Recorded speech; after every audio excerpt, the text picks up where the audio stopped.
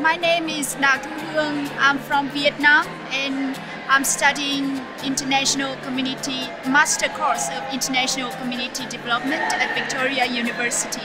As a visually impaired student, I receive great support from the Disability Liaison Unit of my university and every materials I, I got in electronic version.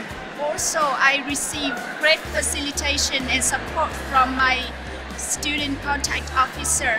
So I had a very wonderful experience, not only in my academic work, but also in my uh, life here in Australia.